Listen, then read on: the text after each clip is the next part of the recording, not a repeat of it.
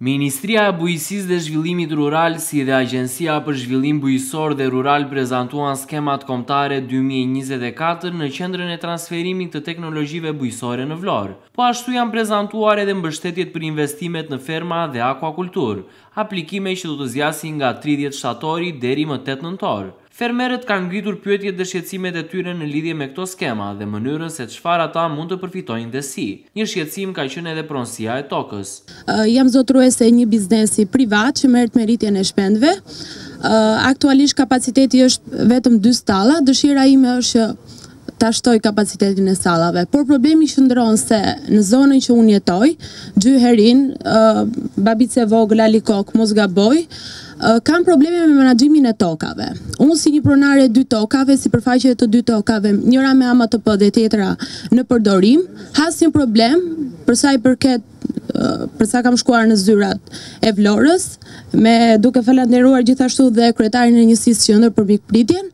Uh, problemi është sepse un kam një pengesë për zhvillimin e stallave. Cilat janë lehtësirat nga ministria ose nga bashkia? Unë i kam marrë tokë, e kam të mbjella, të ngrihet një komision, edhe e bëj dhe sugjerim. Nga AZHBR-ja, përfaqësues nga AZHBR-ja, administratori, kryeplaku, kryetari i fshatit, dhe të verifikojnë tokat e kërkesave të bujqve që kanë bërë kërkesë për naftë.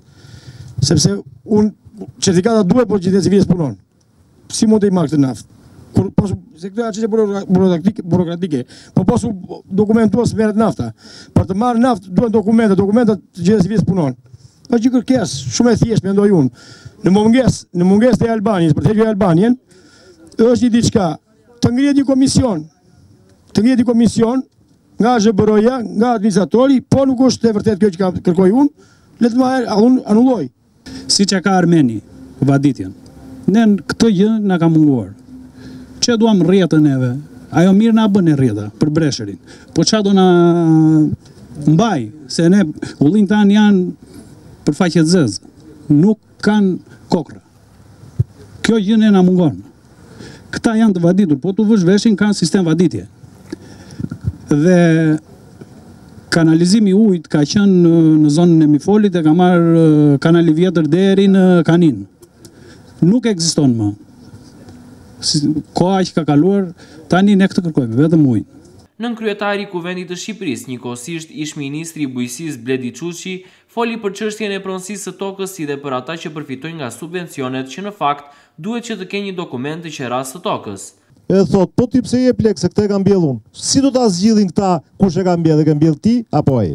Po si do ta zgjidhin? Më fal tash i domun për to gjë. Më fal pra, dhe i vetmja mënyrë që i lidh këto gjëra është qiraja, që edhe ai që ka tokën Pra nuk ka pretendime sepse e ka dhënë me qira dhe ka dokumentin ligjor dhe në këtë rast është lehtësuar në maksimum sepse me AMTP madje edhe për familjen bujqësore nuk ke nevojë të shkosh në gjykatë fare, po shkon më duket në bashki tani është bërë mekanizmi që ti e vërteton në bashki që ai që ka vdekur, kryefamiljari, shkojnë fëmijët dhe thonë, një nga fëmijët, pra ka 8 fëmijë, një nga fëmijët dhe thotë, me certifikatë që kjo është toka e babait dhe është e jona, ne e japim me qira këtij, po të më falë, po të më falësh. Po pra, të shqit njërën vit me naftën, me naftën, po pra, me naftën duhet njërën vit, duhet me në njërën vit.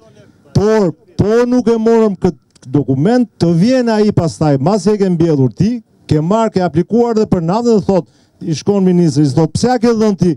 Po sepse e ka punuar dhe i thotë ministria, po thotë, jo, e kam punu unë. Kush e zgjidh këtë punë pastaj? E ke punu ti, apo e ka punu ai? Atëherë, atëherë... Prandaj duhen dokumentat. Dhe më beso, është skema më e lehtësuar që ke jo në rajon, po të bredhësh edhe në gjithë botën, ajo që është sot, kur e bëra unë për herë të parë, kur qeshë ministër, që e bëmë, e futëm për herë të parë, e kishim shumë më të ngarkume se kaq. Kjo paketë financiare për fermerët që duan të investojnë në blegtori, bujqësi dhe jo vetëm, është shumë e rëndësishme për zhvillimin e fermave dhe ekonomisë.